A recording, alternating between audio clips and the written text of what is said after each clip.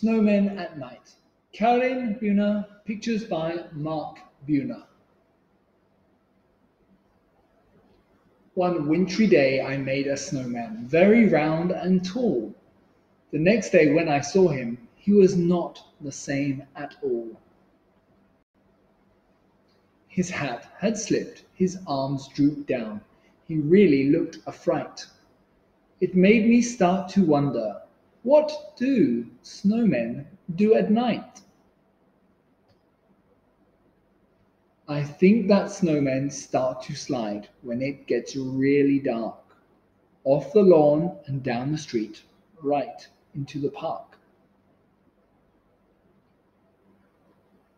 They gather in a circle while they wait for all the others, sipping cups of ice cold cocoa made by snowmen mothers.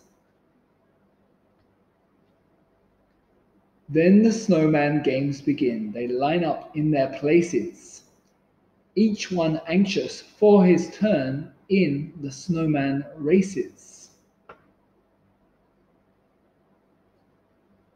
Sometimes they start giggling and then they act like clowns. They bump into each other till they all fall down. They gather up their snowballs, the pitcher takes his aim, and underneath the moonlit sky they play a baseball game.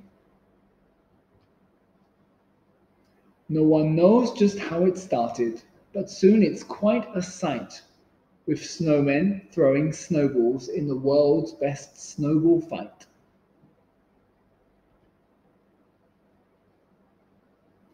Then it's time for sledging. It's a wild ride down the hill. Wahoo! They yell. This is by far the snowman's biggest thrill. Finally, they're tuckered out and getting sleepy so. They slowly gather up their things and one by one they go.